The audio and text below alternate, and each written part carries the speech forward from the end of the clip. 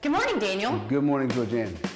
My name is Georgianne Cisco, and I'm the Education Director at the Old State House Museum. And I'm Daniel Cockrell. I'm the Adult Education and Living History Coordinator at the Old State House Museum. And today we are standing in the exhibit about uh, concerts at Barton Coliseum. We are. This is a wonderful exhibit, and I encourage everyone to come down and see this amazing exhibit. We're actually not really here to talk about Barton today. We want to focus on Nudie Cohn, who is an amazing designer and created fantastic stage costumes for so many performers around the world. And we are fortunate to have a number of those in our collection. That is true. And I think that many people would recognize his work and not know it was his work. Absolutely. So featured on the Grand Ole Opry and, and for many stage shows, this amazing outfits were actually his design. That is correct.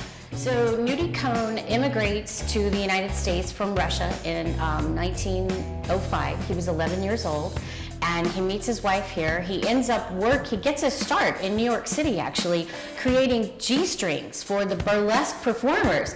And you know, rhinestones and dazzling stuff, and, and that, that pretty much sets him on his mark. And eventually he and his wife move out to Hollywood and they, they settle there and they, they start uh, designing clothes for, for people. And Nudie loved westerns. He loved old cowboy films, and but he felt like there was something missing with their costumes. Yeah. You know, just the, the plain white shirts, the plain black shirts. He really thought they needed some extra dressing up.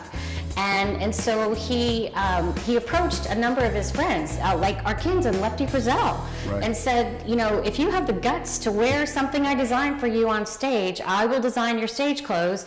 And Lefty says, of course, yeah, that sounds great. Let me pay you. And, and Nudie says, no, I will pay you later if Yeah. this works out. And of course, the rest is history. Yeah. Um, he designed for so many stars. A lot of the Arkansans, like this one, Conway Twitty right here. One of Nudie's clients was Conway Twitty. Sure. Daniel, tell us Oh, what you know Con- about Conway, Conway Twitty, uh, as we know, is one of these amazing Arkansans. He's uh, from Helena, Arkansas. His name is Harold Jenkins.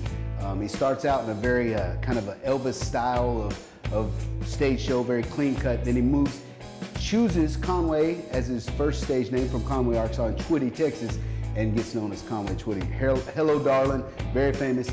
This piece, though, you can tell by the detail that it's a nudie piece. From the time period and the detail, the hand stitching, the, the texture and the layers. There's three levels of fabric giving this this 3D look from uh, the camera. This stuff's meant to be on stage under big lights with camera with a lot of style, flash, and bling. The embroidery, the pearl buttons on the shirt, and the rhinestones on the collar and the cuffs. Those are all trademarks of Nudie Cohn's design style. Sure. And of course, we have this fantastic blue polyester fabric from the time period, which has held up remarkably well. right?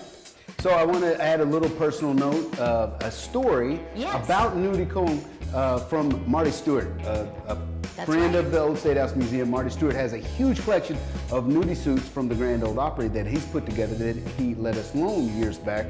And um, Marty Stuart was here telling us a story of his very first nudie shirt.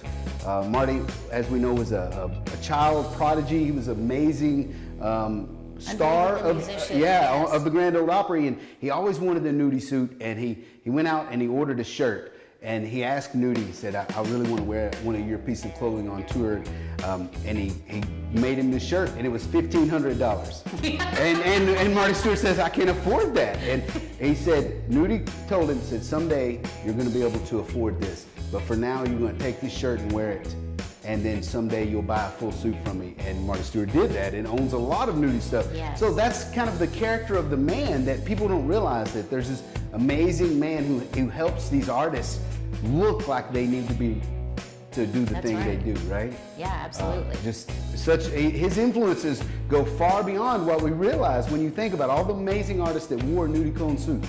Cher, Elton yeah. John, ZZ Top, Chicago, America. Uh, his, his influences are extremely wild, uh, you know, and, and people won't really know his name No. unless they watch this video, right? But his studio is still open today. That's right. Run by- his granddaughter, Jamie, Yeah. Jamie Cohn.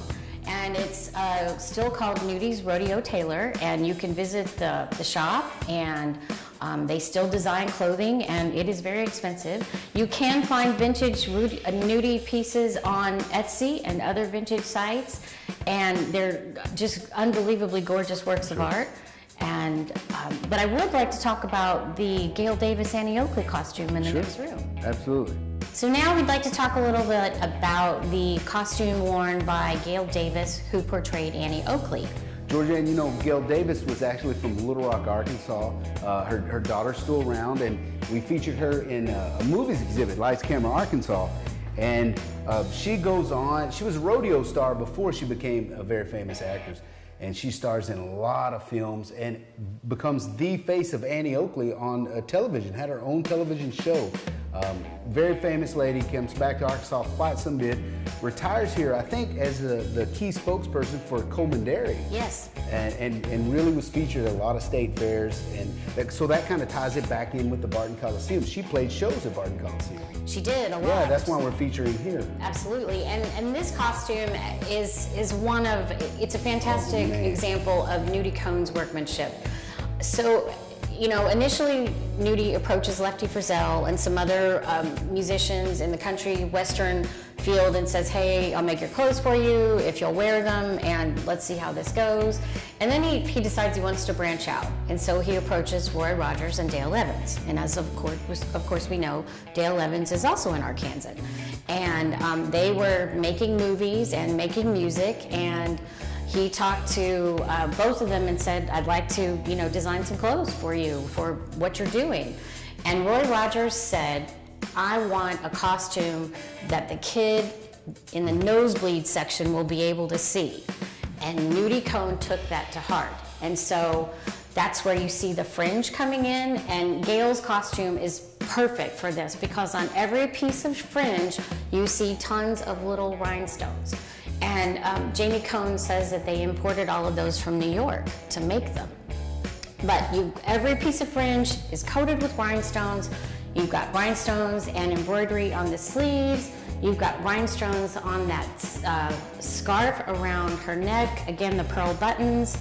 You've got rhinestones on the boots that she wore with that outfit and even on the underside of the cowboy hat. And all of that is going to help catch the lights and they every star who wore his costumes would sparkle from, you know, halfway across the world basically.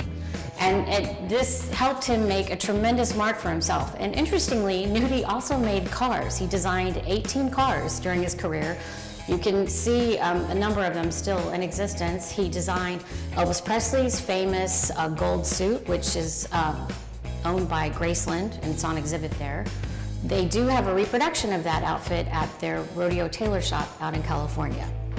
We hope you've enjoyed this conversation in the gallery about Nudie Cohn today. It's been fun to talk about him. He's one of my favorite artist designers, and I love his connections to Arkansas, and so it's always fun for us to be able to feature him. Sure, absolutely. It's a pleasure to get the chance to go do this and talk about this suit and some of these others. It's just amazing creative work, um, and those Arkansas connections are really strong with this. This so And as Daniel mentioned earlier, if you haven't seen the Barton Coliseum exhibit, you need to get on down to the old State House and do that right away. Also, I'd like to say that these uh, images of some of the things that we talked about but not, not featured now are on the eMuseum site uh, as part of our website. You can click there and look at many artifacts that we don't have enough space to exhibit, but there are lots of wonderful details about them and stories. And if you have questions, feel free to contact us, us here at the museum. Thanks so much and have a great day. Thank you.